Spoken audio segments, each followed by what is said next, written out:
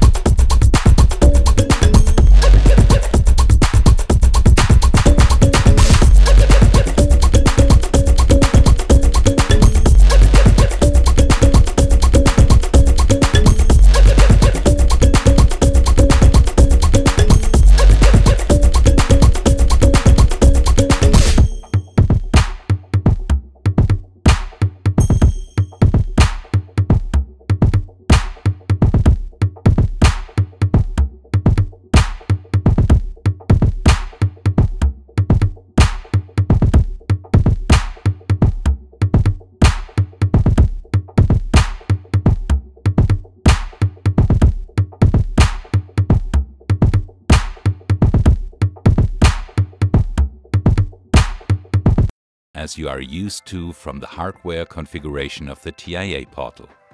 First, you plan only one of the three motor feeders required. The SIRIUS Device Wizard now opens up directly, allowing you to adjust the most important basic settings. In our case, select Direct Starter.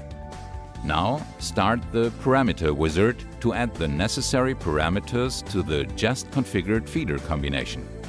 The configuration is being implemented in four steps. First, you configure the Fieldbus interface, enabling the communication of the device.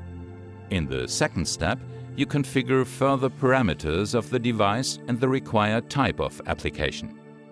In the third step, set the parameters for the motor protection.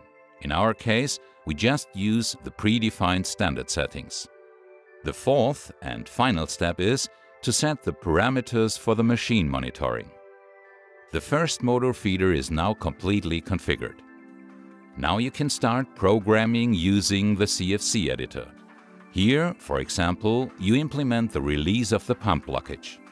In the CFC editor, you also program the error bits, which can be computed via Profinet in a higher level S7 CPU later. The first motor feeder is now completely configured and also programmed. Now create the two further motor feeders. Therefore simply copy the existing motor feeder. Use the mass engineering function to transfer the configuration and the program to the other motor feeders.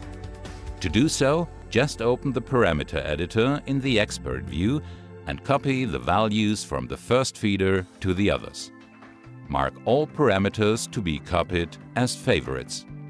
Use the mass engineering dialog to copy the data to the other motor feeders. Finally, establish the Profinet connection to the S7 CPU.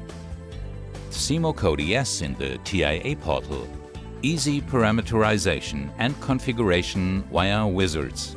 Quick commissioning, even of many components. Easy diagnostics.